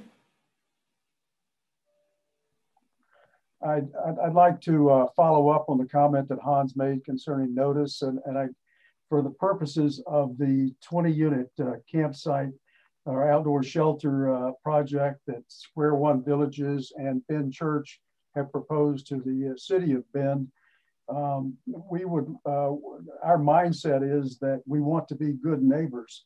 And so we would uh, um, want to be on the side of providing as much notice as, as possible. And if we should happen to be sited in a, in a location where there is a neighborhood association, we would want to uh, have as a, a, member of an advisory board someone from that neighborhood association and and and be and following uh, and being a good neighbor perhaps join the neighborhood association and attend the neighborhood association meetings. And if we happen to be in a, a business location that we would have a, on our advisory board a member of the business community but uh, we would want us perhaps uh, in our mindset err on, on the side of trying to be as transparent and open and as good neighbor as possible. Thanks. Great, thank you. Anyone else want to provide some comment? There's a few people in the lobby. Okay. Eric Garrity, I'm going to allow you to talk. Go ahead. Good morning. Um, I just wanted to say uh, thank you for all your work on this. I know this isn't an easy project uh, to work on, but I also just wanted to highlight the fact that um, even though the low barrier shelter opening uh, in June is going to be 65 beds, we're looking at ODOT destroying um, quite a few shelters throughout the city. And then we also have planned evictions at Emerson, which is about 40 to 50 people, and those beds are not going to go very far at all. And with Hunnell and possible other evictions uh, planned, it seems like uh, I would just encourage you to take like a really maximalist approach because the need is really great. We're counting about a thousand people, but the numbers are likely higher. And so just really wanted to reiterate, like the need is very, very desperate. Um, we may be in warmer weather, but we need as much as possible and it's going to take time to get some of these shelters in place. So just thank you very much for your work. Okay, thanks, Eric. Um, anyone else? I see a couple people um, still in the lobby. Okay. Well, thanks. Thank you. So let me um, go ahead and summarize uh, what we're going to get back to you. Um, we've got the notes that we'll send out from the draft, the bubble draft um, that we'll send out. And then we'll send out some information on cost um, and what the standards will be. We can look at uh, square footage as opposed to number of sites um, in, that outdoor shelter table. And we'll get a revised draft back to you. I also wanted to mention, um, so council has two different council subcommittees um, that have been established. They've took kind of a break for a little while, but we have the stewardship subcommittee and then the community building subcommittee. And those are just um, subcommittees. Barb, I think you're on the community building. Yeah, yay. Um, so uh, community building is, is Barb, um, Melanie Kebler, and Rita Schenkelberg, I think. Um, so it's just a, a opportunity for councilors to dig into things a little bit more before they go to the council meetings. And so the next um, community building subcommittee is going to be June 11th. It's a Friday from three to five. Yay. Um, so uh, we're going to be going through um, our work with them at that point. So, um, and I think there's going to be also um, some items on parking. So um, I, will send out notice to you all, you might want to um, join in or, or listen in at least, but it's an opportunity for public comment too on, on these concepts. So I just wanted to let you know about that. And then for the next meeting, um, we'll come back with a revised draft and then pick up where we left off and try and forge through it. Um, we'll, if we have time, we'll talk about RVs um, as an ancillary use to single family and anything else we've missed, the temporary shelter concept to the emergency shelter idea as well. So um, anything else? I'm on that uh, committee um, from the Affordable Housing Advisory Committee for oh. that meeting coming up. So I will be there and um, I'll try to capture anything that we've said that didn't get communicated if, if need be. Oh, great. Okay. And our next meeting is June 9th. So it'll actually be kind of good timing. We can go through this all again and then, um, yeah, go to the community building subcommittee and get more input. So, yeah. Okay. I'll use the last 30 seconds just to say thank you again. Um, our mayor refers to this process as going slow so that we can go fast. And I think you all understand what she means by that, what we mean by that. That example of the type one process, I thought was exactly right, where if you don't get it right in the first place, it could come back at you two years, you know, years later. And so your opinions, your experience, your knowledge is just so important and so valuable. And I know all of you are here because you already volunteer your time for our community and I appreciate it so much. So just thanks everybody. We'll see you in a few, a couple more, a couple weeks. Sounds good. Thank you. Happy Bye. Memorial Day weekend. Yeah. Okay. Yeah. Yeah. yeah. Without yeah. masks, maybe. Bye, everybody. Bye. Thank Bye. you.